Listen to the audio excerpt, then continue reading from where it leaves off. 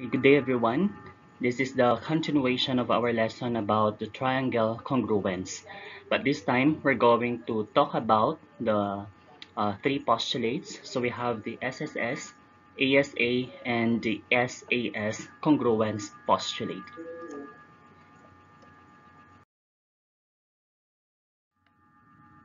So in this case, we're just going to illustrate the SSS SAS and the ASA congruence postulate.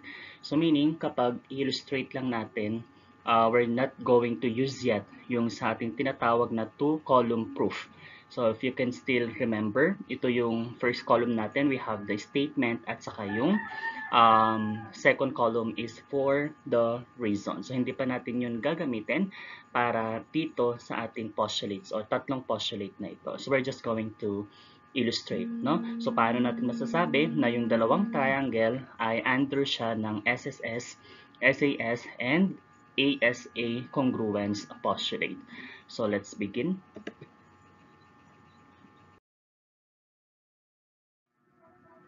Okay, so let's have the first postulate, which is the triple S, or the side-side-side congruence postulate.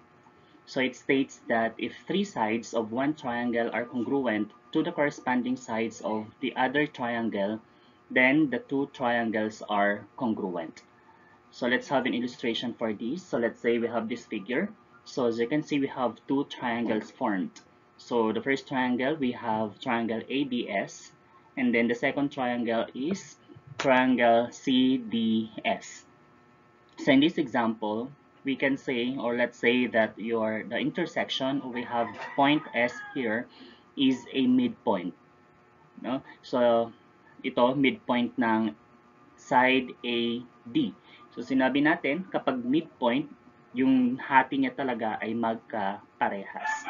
So we can have now that um, side AS this one is congruent to side SD so in symbol, we write side AS is congruent to side SD. So that is the first side. For the second one, since S here once again is the midpoint of BC, so we can say now that BS and side SC are congruent. So we write that in symbol like this.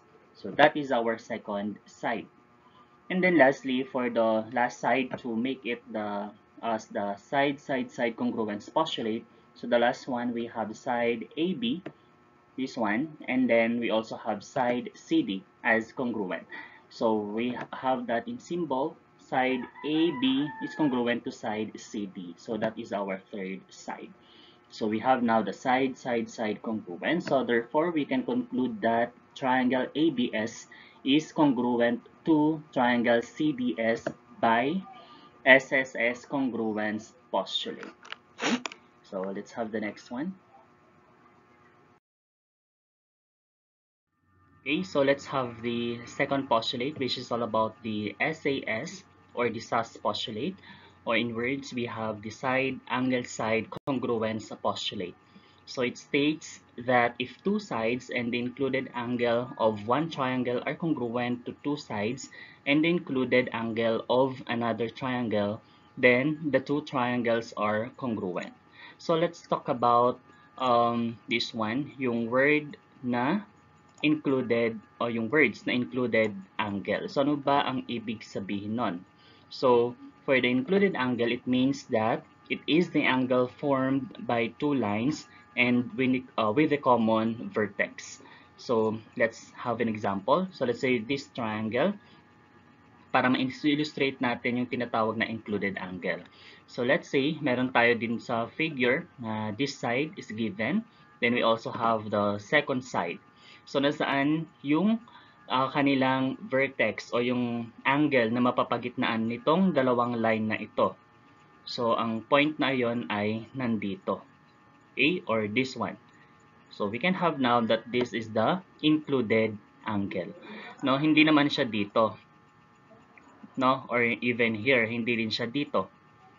Kasi, ito po yung ating dalawang side na given. So, ito yung uh, angle na kanilang napapagitnaan. Okay? So, let's have the second illustration. So let's say this is the first given side and this is also the second given side. So nasaan yung angle na napapagitnaan nitong dalawang side na ito? So definitely as you can see, nandito siya. Okay, so nandyan yung kanyang included angle or ito yung tinatawag natin na included angle. Okay. So let's have an example. So while back, that is the definition. So this is our um, illustration for SAS postulate. So identify natin yung dalawang triangle. So this is our first triangle. In green, you have triangle POS. And the second triangle in blue, we have the OWS. So that is our two triangles.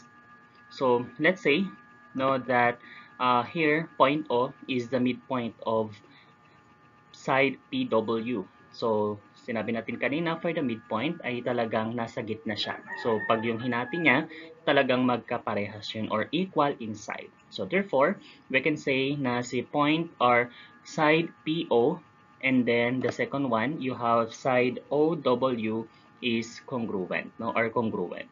Ayan. So, in symbol, you have side PO congruent to side OW. So, that is our first side.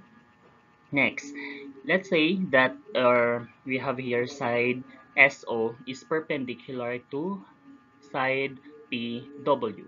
So therefore, kapag sinabi nating perpendicular, it formed um, a right angle. So dun sa kanilang pagkitnaan, therefore, itong part na ito at saka dito ay parehas na 90 degrees.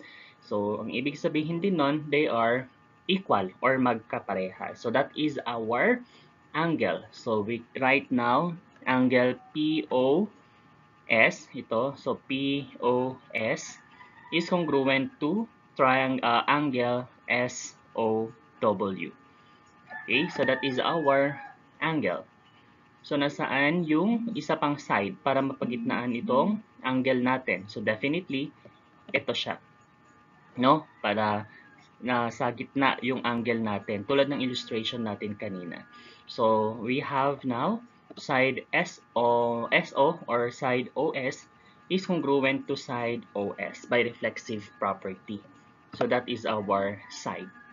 Okay, hindi pwede na ito yung kukunin natin at, uh, saka ito kasi andito yung angle natin para na tinatawag natin na included.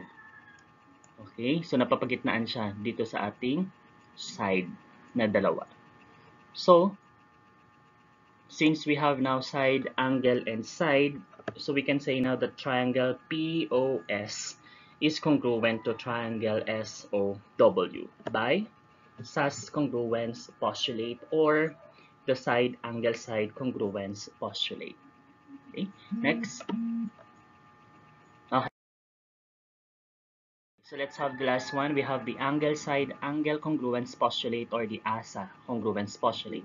States that if two angles and the included side of one triangle are congruent to two angles and the included side of another triangle, then the two triangles are congruent.